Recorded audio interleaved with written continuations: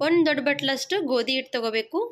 ಒಂದು ಬೌಲಲ್ಲಿ ಒಂದು ದೊಡ್ಡ ಬಟ್ಲಷ್ಟು ಗೋಧಿ ಹಿಟ್ಟು ತೊಗೊಂಡ್ರೆ ಒಂದು ಸಣ್ಣ ಬಟ್ಲಷ್ಟು ರವೆ ತೊಗೊಳ್ಳಿ. ಈಗ ನೋಡಿ, ಒಂದು ಸಣ್ಣ ಬಟ್ಲಷ್ಟು ರವೆ ತೊಗೊಂಡ್ರೆ ಅದಕ್ಕೆ ಮತ್ತೆ ರುಚಿಗೆ ತಕ್ಕಷ್ಟು ಸ್ವಲ್ಪ ಉಪ್ಪು ಹಾಕೋಬೇಕು. ಇವತ್ತು ಮಾಡ್ತಿರೋ ರೆಸಿಪಿ ಒಂದು ಹೆಲ್ದಿಯಾಗಿರುವಂಥ ಟಿಫನ್ ರೆಸಿಪಿ ಮಾಡ್ತಾ ಇದ್ದೀನಿ. ವೀಕ್ಷಕರ, ಟಿಫನ್ ಬಾಕ್ಸಿಗೂ ಕೂಡ ಕಟ್ಟಿ ಕೊಡ್ಬೋದು. ಹಾಗಿದ್ರೆ ನೀವು ಕೂಡ ಗೋಧಿ ಹಿಟ್ಟಿನಿಂದ ಹೆಲ್ದಿಯಾಗಿರುವಂಥ ರೆಸಿಪಿ ಮಾಡ್ಕೋಬೋದು. ಇಲ್ಲಿ ನೋಡಿ, ನಾನು ಸ್ವಲ್ಪ ಸ್ವಲ್ಪನೇ ನೀರು ಹಾಕ್ಕೊಳ್ತಾ ಚೆನ್ನಾಗಿ ಹಿಟ್ಟು ಕಲಿಸ್ಕೊಳ್ಳಿ ಫಸ್ಟಿಗೆ ತೆಳುವಾಗಿ ಕಲಿಸ್ಕೋಬೇಕು, ಗಟ್ಟಿಯಾಗಿ ಕಲಿಸ್ಕೋಬೇಡಿ. ಇನ್ಸ್ಟನ್ನಾಗಿ ರೆಸಿಪಿ ಇದೆ ತುಂಬಾ ಚೆನ್ನಾಗಿದೆ. ಮಕ್ಕಳಿಗೂ ಕೂಡ ಮಾಡಿ ಕೊಡಿ ತುಂಬಾ ಇಷ್ಟಪಟ್ಟು ತಿಂತಾರೆ ಬಯಲಿಟ್ಟರೆ ಕರಗೋಗುತ್ತೆ ನೋಡಿ ಈ ರೆಸಿಪಿ ನೋಡ್ಬೋದು ಈ ರೀತಿ ಹದ ಇರಬೇಕು ನೋಡಿ, ಹಿಟ್ಟಿನ ಹದ, ಇಷ್ಟು ತೆಳುವಾಗಿರ್ಬೇಕು ನೋಡಿ. ಇದರೊಳಗಡೆ ನಾವು ರವೆ ಹಾಕ್ಕೊಂಡಿದ್ದೀವಲ್ಲ ಸ್ವಲ್ಪ ಏನಾಗುತ್ತೆ ಅಂದರೆ ನೆಂದ ಮೇಲೆ ಸ್ವಲ್ಪ ಗಟ್ಟಿಯಾಗುತ್ತೆ ಮತ್ತೆ ಅದು. ಇನ್ನು ಇನ್ನೂ ಸ್ವಲ್ಪ ನೀರು ಹಾಕ್ಕೊಂಡು ಚೆನ್ನಾಗಿ ತೆಳುವಾಗಿ ಕಲಿಸ್ಕೊಂಡಿದ್ದೀನಿ. ಈಗ ಇದೊಂದು ಹದಿನೈದು ನಿಮಿಷ ರೆಸ್ಟ್ ಮಾಡೋದಕ್ಕೆ ಮುಚ್ಚಿಡಿ.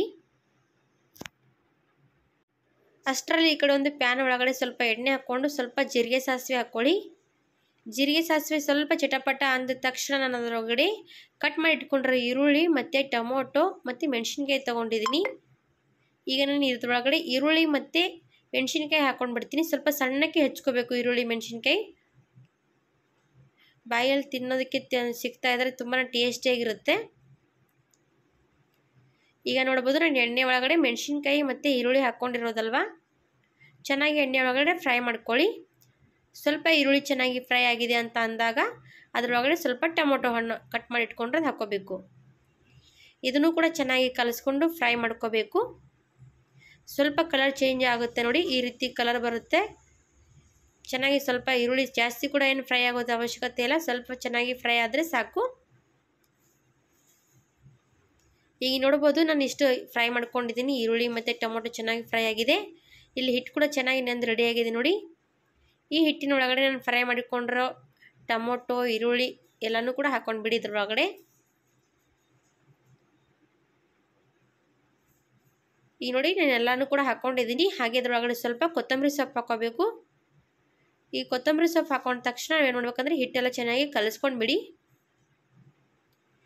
ನಮಗೆ ಗಟ್ಟಿ ಅನ್ನಿಸಿದ್ರೆ ಮತ್ತೆ ಸ್ವಲ್ಪ ನೀರು ಹಾಕೋಬೇಕು ಸ್ವಲ್ಪ ಇದು ಹಿಟ್ಟು ತೆಳುವಾಗಿ ಇರಬೇಕು ನೋಡಿ. ಗಟ್ಟಿಯಾಗಿರಬಾರ್ದು.